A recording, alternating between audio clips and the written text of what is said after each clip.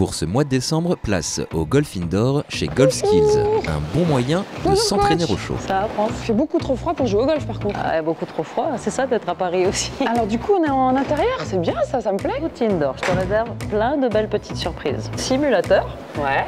petit green, Ouais. avec plein de pentes. Et, tout ça, euh, et tout ça au chaud. et tout ça au chaud. Yes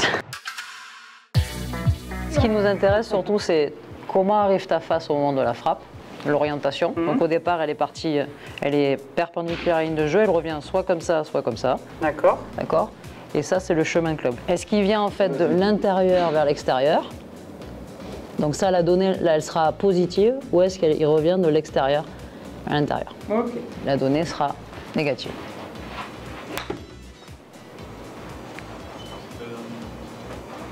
Donc là ça va être en négatif. Voilà, forcément. Exactement. Vu que tout compris. Vu que c'est à gauche, c'est en négatif. Alors déjà j'adore le concept. hein. On est en intérieur. Il fait pas chaud dehors, donc c'est très bien de se retrouver ici. On passe pas son temps à chercher les balles, à chercher le parcours, à savoir euh, où est-ce qu'on tape, où est le trou. Ouais, bien Voilà ça. une bonne balle. Allez, regarde, on va aller, on va aller voir donc Oui, toutes bah, ces c'est données. l'échauffement. Il faut que je me chauffe gentiment. moi. Tu vois, le club, si on trace la ligne de jeu aussi ici, on va tracer le couloir de ta tête de club. Idéalement, elle doit rester dans ce couloir le plus longtemps possible. D'accord. D'accord, au démarrage. Et regarde ce qu'elle va faire. Elle va à droite. Voilà, elle fait encore un tout petit peu ce mouvement d'extérieur. Donc la leçon avec France euh, est, euh, s'est orientée encore une fois sur euh, son démarrage, remettre l'accent sur ce démarrage qui entraîne vraiment une, une grosse boucle chez elle et des irrégularités de, de contact. On le fait vers l'arrière, parce que tu as montré pas si ça va, avec un tout petit peu de main, mais pas, pour mon avis sur la vidéo, ça, ça. D'accord, on est, je garde le Y là-bas, et ensuite, même si c'est un petit coup, je tourne pour amener ici. Ok. Ah Là, je l'ai bien senti, là. Celle-là, j'ai bien senti. Regarde, tu vois déjà par rapport à Je tout à l'heure.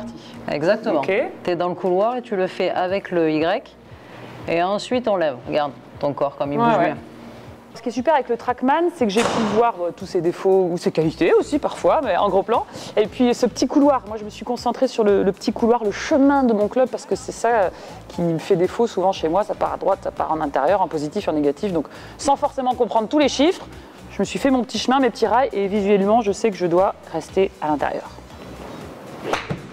Très bien. Super bien. Là, regarde, c'est ton club, ton corps qui guide le club. Ok. Regarde, il est toujours en face de toi là. Avec la vidéo à l'appui, ce démarrage et cette rotation du corps a donné de vraiment bien meilleures images dans le backswing, où elle arrive à s'enrouler et du coup avoir des contacts plus réguliers et améliorer sa, sa direction. Oh J'adore. Vas-y, vas-y, on y Ah oui, quand même. Ah, viens, viens, viens, viens. Et encore, je suis pas échauffée. hein.